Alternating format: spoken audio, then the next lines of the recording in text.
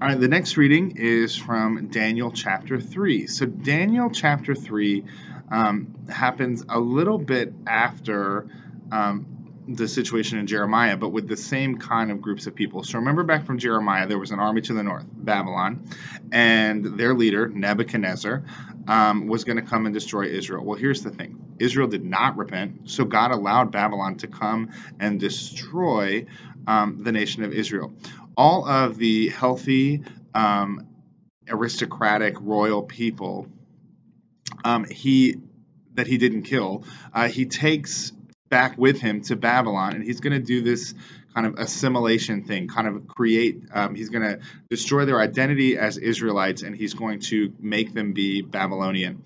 Um, so uh, there are four guys specifically in the book of Daniel that we hear about. He goes so far as to change their names. Um, so we know three of them by their Babylonian names um, and not even their Isra- Israelite names. Um, we know them as Shadrach, Meshach, and Abednego. How'd you like to be called Abednego? Um, we know the other guy by uh, his Hebrew name, and that's Daniel. So Daniel and these three guys, Shadrach, Meshach, and Abednego, or if you've watched VeggieTales, Shadrach and Benny, um, are taken back and they're kind of inscripted into Nebuchadnezzar's army. Um, and they really stand their ground. All the other Israelites kind of go, okay, well, they're feeding us this and they're allowing us to drink this and they're asking us to do this. And so we're just going to do it. Well, Daniel and his friends don't. Um, they actually ask for permission, like, can we eat our um, our own diet? Can we um, do uh, all this? And it actually shows that they are um, stronger at the end of um, the training time than some of the other guys who had been eating what the Babylonians had given him. Um, and Daniel himself has this um, kind of cool gift from God in that he can interpret dreams. So he quickly becomes a high up guy in um, in the Babylonian court, in Nebuchadnezzar's court. The other three, Shadrach, Meshach, and Abednego, we don't necessarily get to see where they end up, but we do know that they are taken care of. Um, Nebuchadnezzar comes up with this weird idea. Um, and in chapter 3, this is when this idea kind of comes to fruition. So he decides to make this statue of himself, this large statue that like people can see um, from uh, uh, from a good ways around. And he says that um, he's going to bring everybody into the statue, um, and at uh, whenever they blow the horns, that everybody has to bow down to the statue in allegiance to Nebuchadnezzar. Um, now this is a this is an issue um, for Shadrach, Meshach, and Abednego because they've already um, stated that they're not going to worship idols. They're gonna they're gonna follow the Lord, and so they cannot bow down to the statue. Um, so Nebuchadnezzar says, "All right, if you're gonna, you're, we're gonna come, we're gonna blow the horn, um, bow down to the statue, and if you don't, you're gonna be thrown into a fire." Um, okay, so the, everybody comes in, they're gathered around, the horn blows, and now imagine this, okay, like the entire city um, is bowing down, and there are three guys who are standing up. Like it's not like you could hide. Okay, they made a bold decision to say, you know what, we're literally going to stand for the Lord. We're not going to bow down regardless of where it goes with us.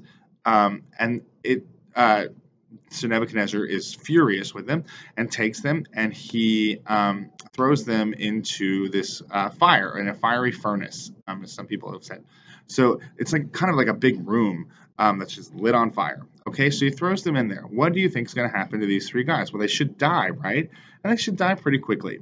Um, the problem is, is that Nebuchadnezzar and his men um, see them walking around. But they don't just see the three of them, they see this fourth um, person walking around with them.